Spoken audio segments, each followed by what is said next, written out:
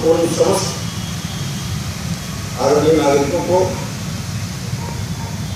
जिन्होंने कोरोना काल में इस महामारी से लड़ते हुए अपने प्राणों की आहुति दे दी, उन्हें हमने अपना श्रद्धा सुमन अभी अर्पित किया है दो मिनट का मौन रखकर।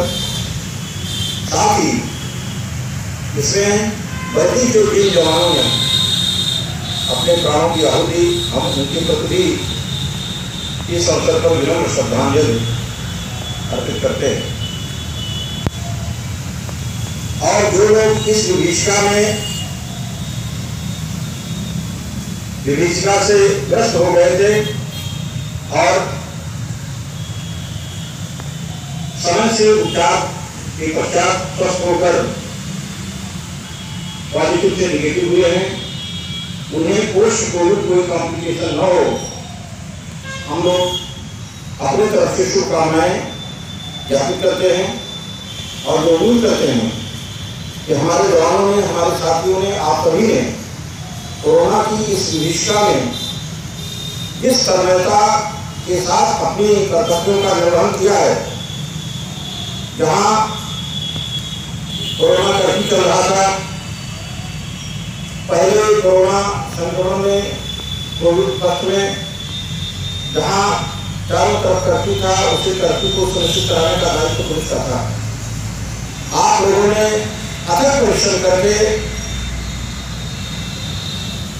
एक तरह से अपनी जान हथेली पर रख करके आपने लोगों को सुरक्षा दी, यह सुनिश्चित कराया कि लोग अपने अपने घरों में रहें। और उसका परिणाम यह रहा कि जैसे ही इस बार भी कोरोना कर्फ्यू लगा कर्फ्यू लगते ही पॉजिटिविटी की रेट कम होने लगी क्योंकि लोगों का मूवमेंट आपने रिसीव किया यह सारी मेहनत आप लोगों ने की इसलिए आपको बधाई के पात्र हैं हमारे एक एक सिपाही एक एक सब इंस्पेक्टर एक एक हेड इंस्पेक्टर साहबान ने सीओ साहब ने सभी सीओ ने एस एस साहब ने एन हम लोगों ने हमें भी इतना ही रखा इतना किसी भी नागरिक को था लेकिन एक तो हम सभी ने वैक्सीनेशन करा रखा है। हमारे मन में उसका एक आत्मविश्वास है। दूसरा, उस आत्मविश्वास से भी ज़्यादा बड़ा हमारा आत्मबल है कि हम समाज की सुरक्षा के लिए ही ये बंधु पहने हुए हैं। और वही बल, वही आत्मबल हमें अपने कर्तव्यों के ऊपर सदैव प्रेरित करता है। हम लोग आगे आने वाले समय में इस महामारी का कहीं और प्रकोप न रहे। यह अनुदिन हम हो,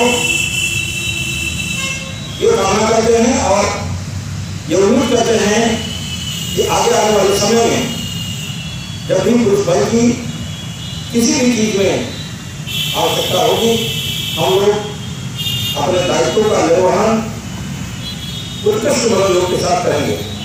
जय हिंद। Break.